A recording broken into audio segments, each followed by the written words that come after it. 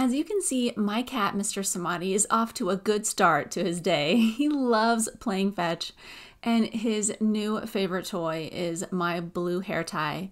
I call it his little blue tie tie. I know. it's kind of silly, but he loves that thing and he knows its name and he knows it lives in the drawer in the bathroom.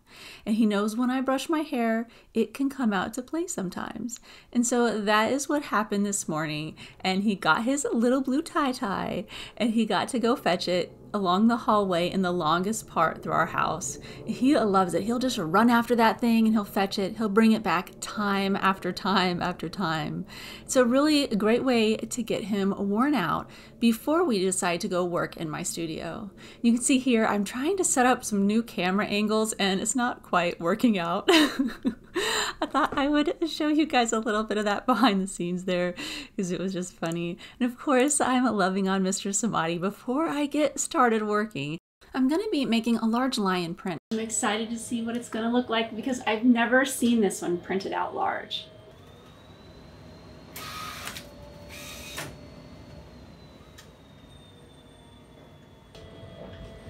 waiting for the print to come out. I have to hold it when it gets cut off here because I don't have the basket set up underneath there.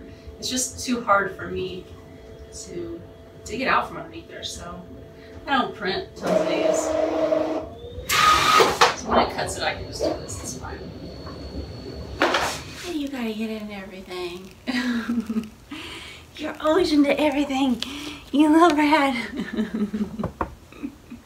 This is what I deal with constantly in my office. These are originals, so I hand sign each one.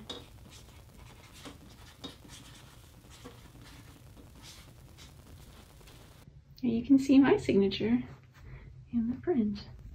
Give you a closer look at it here. It kind of has a little bit of a shine to the paper because it's a luster finish. It makes the prints turn out really vibrant, but that's why you kind of see a little shine on it just from my overhead light. But so many details. To give you an idea of how cool it is for me to see it large, when I make them, they're on the iPad, this small, right? And then when I print them out, this big, is a whole lot bigger. It's kind of hard to have it in the frame without rolling up, but you see, it's really large. I hope you all are having an awesome day today. I know I am. I love making things in my studio, even if I constantly have a cat underfoot. So honestly, I just, I love every minute of it. I, even if he's bugging me, I just love that he's always with me, keeping me company. So I spend a lot of time alone working. I think most artists do. Um, you kind of have to if you're creating work and you're busy. I mean, sometimes you could be in a studio with other people, but I work from home, so I don't have you know, a lot of people around. And so it's wonderful to have a cat. He's, he's my best friend. I don't know if you can hear it, but as I'm doing this voiceover, Mr. Samadhi is sitting on my lap purring. So I hope you'll be able to hear it in the video. But anyway, I am taking apart the printer paper now because I have to store it each time after I use it. You can't leave it in the printer or it will make creases. Okay, so I just had to interrupt the vlog for a second to show you this. Mm, good boy.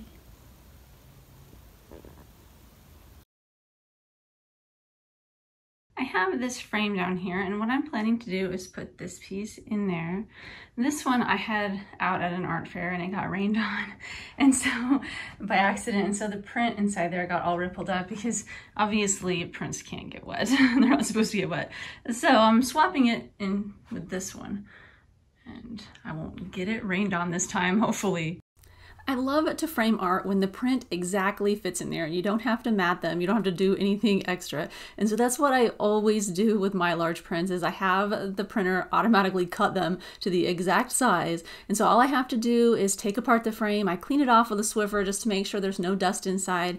I put the print inside and I put the back back on there. Now, if you noticed when I was taking the back off, when I bent the little points down, the little black pieces, when I was bending them up, uh, one of them ripped off. And so I'm getting my point gun there and I'm adding a new point. So that way the back will stay on there. Well, here it is, all framed up. I love seeing my digital art printed this large and framed, hanging up on the walls. I make them, like I said before, on the little iPad. So it's just so satisfying to be able to see all the details the way I meant them to be in real life, you know, printed out. It's just awesome. I love this lion. It's so cool. so yeah, thank you so much for watching my vlog today. I'll see you next time.